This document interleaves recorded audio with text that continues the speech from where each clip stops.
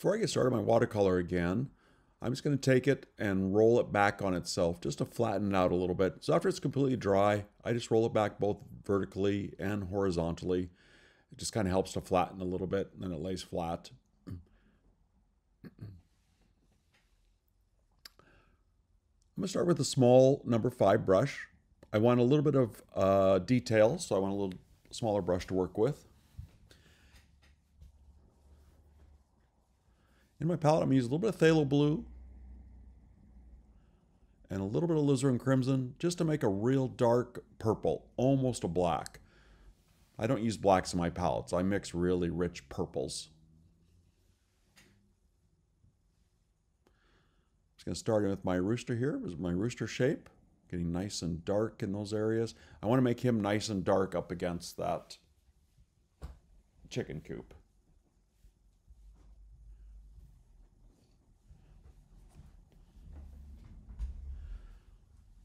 I pin in enough roosters that I know the shape of them pretty well.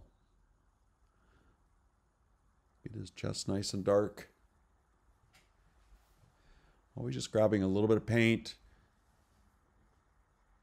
a little bit darker paint, pull it around a little bit, dry my brush a little bit. I'm going to start with a little bit of lemon yellow. Let's put a little bit of yellow into him on his wings there. A little bit in his beak. He's really crowing, so I want him nice, some nice yellow on his beak there.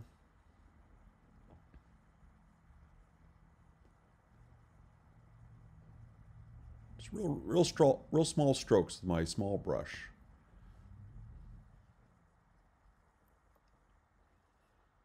A little bit of alizarin crimson again. I do his his comb now in a nice red. Maybe a little bit of cadmium red. Let's grab a little bit of cadmium red as well, make it nice bright red. Just a few little dots for his comb.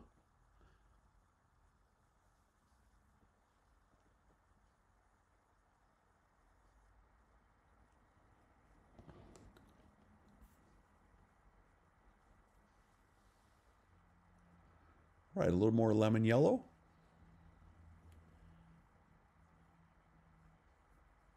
More lemon yellow on his beak there.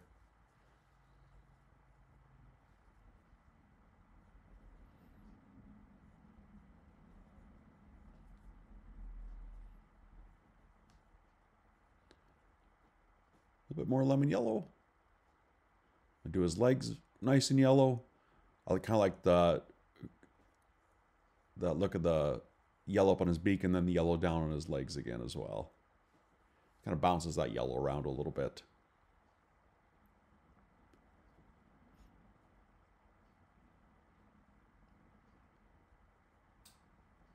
I'm going to switch to my larger brush. I've got some bigger areas I want to do. And I, I want to use as large a brush as I possibly can. So here I'm going to work a little bit of phthalo blue.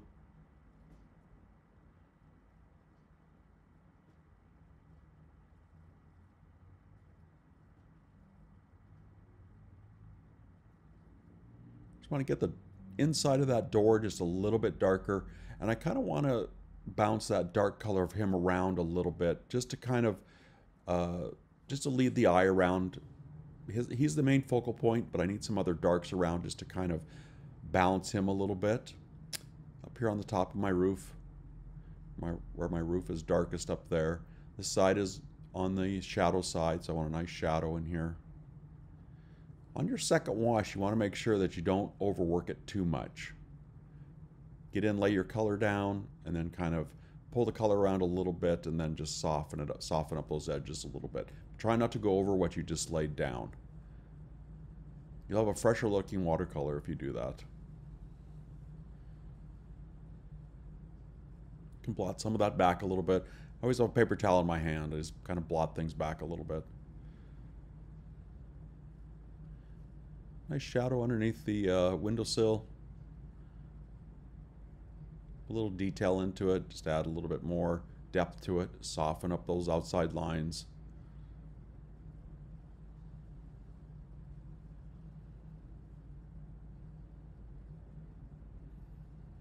I'm going to start with a little bit of cerulean blue.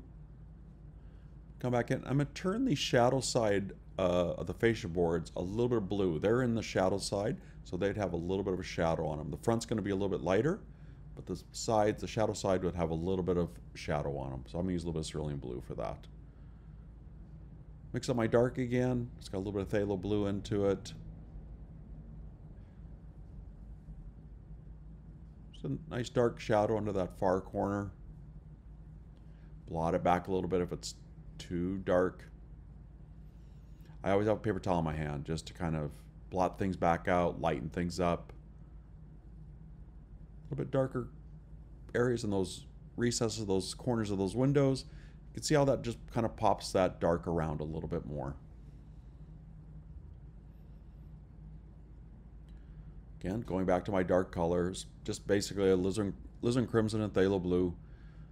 So a nice rich shadow underneath that roof line. Bring it down a little bit further. I'm gonna rinse my brush, dry it a little bit. Just pull that dark off just a little bit. Again, if it gets too dark, just back it off a little bit with your paper towel. Blot it out just a little bit.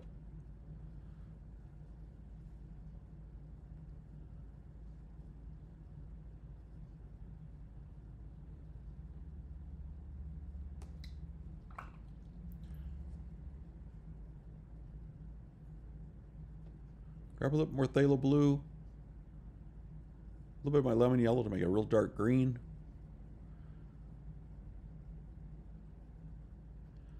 Come back in, I'm just putting some shadows coming off those grasses in the front and things. And this is just to break up these big shapes in the front and just to darken up those areas a little bit. Pull your darks around a little bit, balance them out.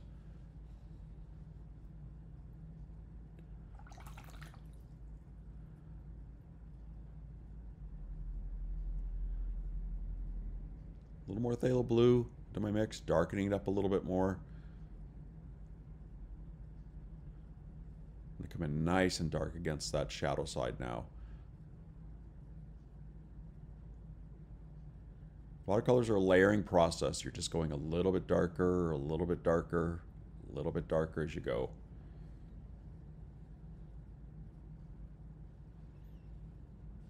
Soften up that edge a little bit. Soften up this edge a little bit. So I have a hard edge up against the roof line and then I soften the edge down the walls a little bit. Now that side really looks like it's in shadow.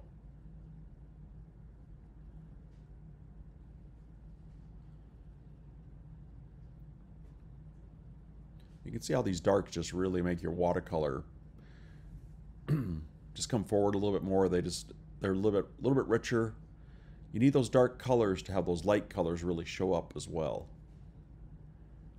A bit of shadow on his rock there, a little bit of shadow underneath the greenery. Just a little bit of shadows underneath the foliage up front. Again, setting those down on the ground. Soften up those edges a little bit.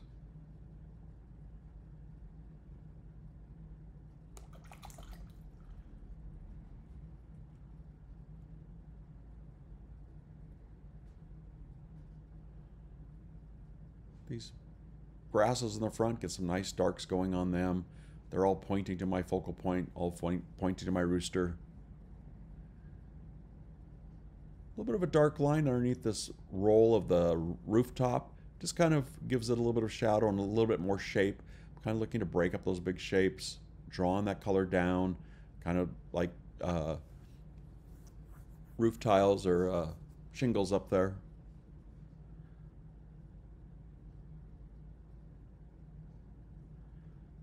Come back in with a little bit of cerulean blue. Again, I just want a little bit of color on those whites, those white trims going around the doors and things. Just want to knock them back just a little bit. I'm going to add a little bit of cerulean blue to them. Cerulean blue works well for putting shadows on white areas.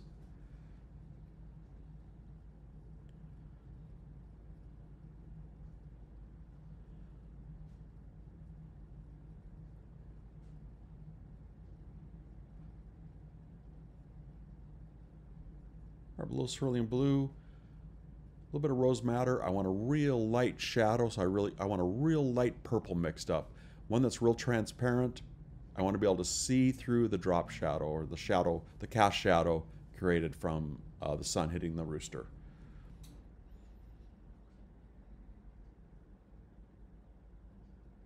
Come in behind him, nice and light. I'm gonna try to keep this nice and light, creating that cast shadow up against the wall.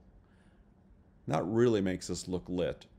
As soon as you can put those cast shadows in, the viewer knows that the sunlight's coming from the right hand side, hitting the rooster, and then he's casting a shadow onto that wall of the chicken coop. Once I get it in there, I just kind of bring my paper towel and I just kind of blot it back a little bit, just just to knock back the intensity a little bit. It just looks like it's that shadow is sitting against that wall now.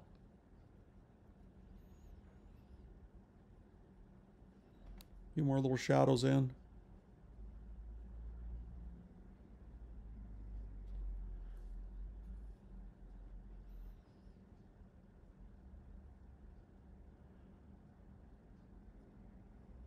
A few little darks in here and there.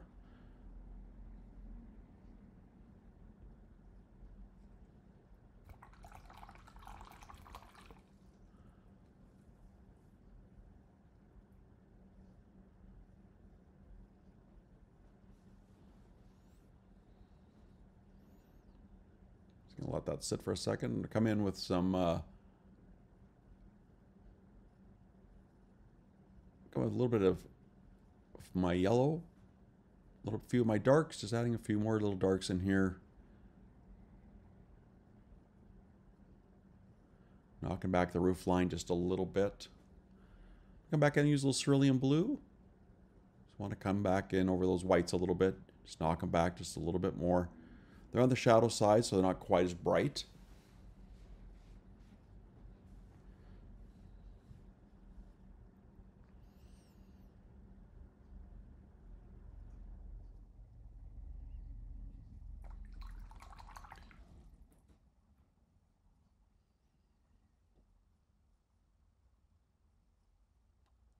All right, anything else I need to do here? Start with my small brush again. It's my number five brush. Nice, get a nice point going on it. I just want to dark, add a few more shadows. Again, with my shadow mixture of cerulean blue, that rose madder genuine. Just want to create that light purple color. Just creating a little bit of shadow of the bushes. They cast a shadow up against that wall as well.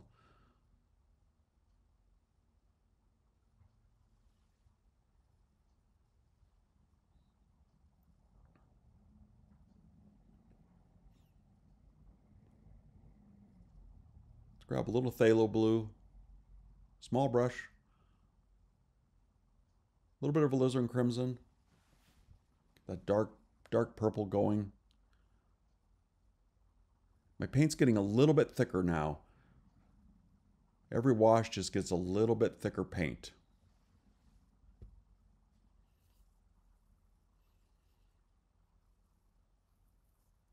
Which I think I need a little bit smaller brush. This is my signing brush. It just it, it's like a one point brush. It's real. It's got a real small point on it. I'm gonna put his eye in. Just give him a nice, rich, dark eye that real small brush. And just I can fix up some of those edges a little bit, make him just a little bit bigger, darken up that base of him a little bit, darken up around his cape.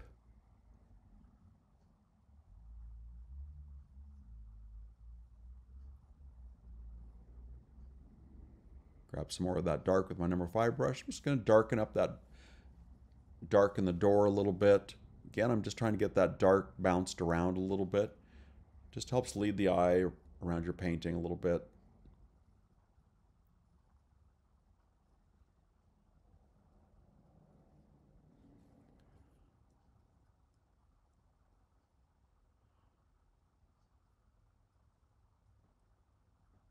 In that very top notch of the roof, I'm just going to add a little dark there, a little dark into my windows, just adding little bits of dark, a little shadow under the under the windowsill. Just bring that dark out a little bit. Again, it brings the eye up to that point up there. And it really brings out the light of that tree as well. It looks nice and lit up against that dark of the roof. Just soften these lines up a little bit. Pull off that one edge. Have a hard edge, then a, a softer edge. See, I don't clean my palette too much. I kind of let colors just mix together and I just uh, just mix in the clean areas and a few more shadows. Just breaking up the shapes a little bit. Everything's looking pretty good.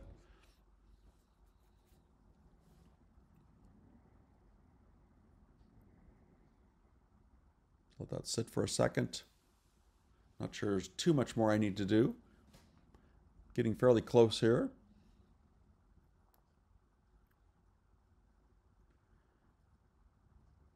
I take my signing brush, nice rich dark color. Using my alizarin crimson, a little bit of phthalo blue. All my colors I've mixed up there. A little phthalo blue, a little more phthalo blue, a little bit of alizarin crimson.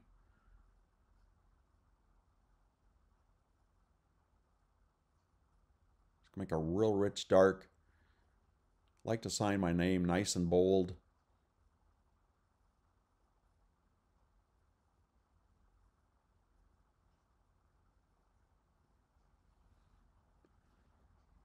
I'm lucky I have an easy name to sign. There you go. Don't think I'm going to do too much more. I like the way it looks.